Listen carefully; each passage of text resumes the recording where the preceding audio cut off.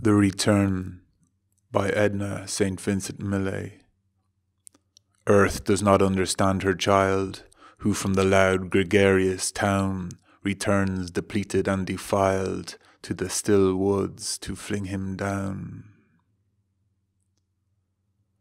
Earth cannot count the son she bore, the wounded lynx, the wounded man come trailing blood unto her door. She shelters both as best she can. But she is early up and out to trim the year or strip its bones.